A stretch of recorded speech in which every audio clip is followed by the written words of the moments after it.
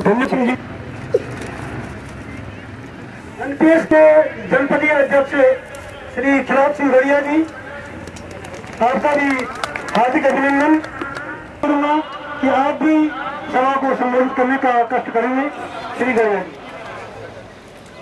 धन्यवाद सरकार। के लिए ही राज के सेवा में आने का लोग मन बनाते हैं और वो स्थिति आज आपने वही कर दी।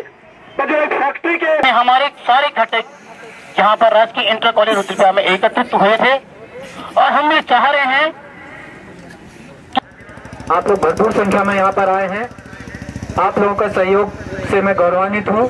हमारे सभी साथियों का मैं धन्यवाद देना चाहूँगा कि एक टेलीफोन पुरानी पेंशन लागू करो पुरानी पेंशन लागू करो नई पेंशन अभी करो, अनिवार्य है। पुरानी पेंशन पेंशन लागू करो अभी करो, न्याय है। आवाज़ दो।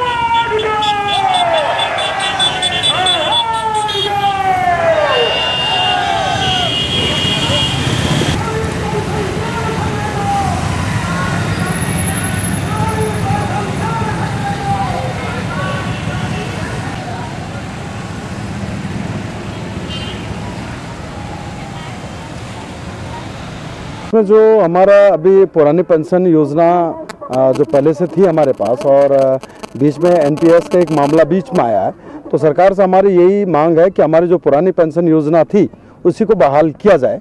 और क्योंकि कम से कम उत्तराखंड के परिप्रेक्ष्य में तो मैं ये कहता हूँ कि जो हमारी परंपरा बनी है कि हम सरकारी नौकरी क्यों पसंद करते हैं? सिर्फ़ इसलिए कि अपने भविष्य को संरक्षित करने के लिए।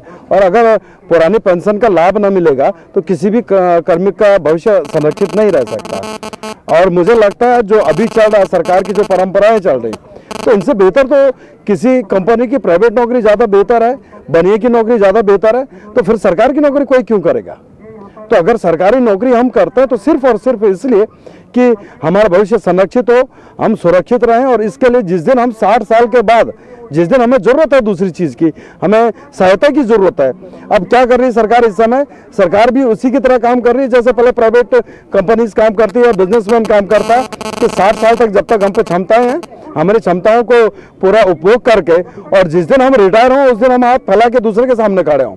तो इसको हम चुनौती के साथ इसको कहते हैं कि अगर सरकार इसको नहीं मानेगी तो फिर हमें कुछ अपनी व्यवस्थाएँ करनी पड़ेंगी और इसकी चुनौती हम सरकार को देते हैं। हमारी एक ही मांग है सरकार से, लगातार देहरादून, चमोली और यहाँ जो आज रैली हो रही है और पूरे भारतवर्ष में जो ये कार्यक्रम चल रहा है, राष्ट्रीय पुरानी पेंशन अभियान बहाली मंच, जिसमें 48 लाख कर्मचारी शामिल हैं, हमारी सिर्फ़ एक डिमांड है कि सरकार पुरानी पेंशन को बहाल करे।